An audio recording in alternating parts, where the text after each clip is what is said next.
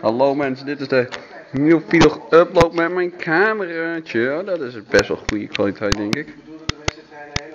Dat ziet er wel redelijk uit, niet? Nee, dan hebben we geluk op echt.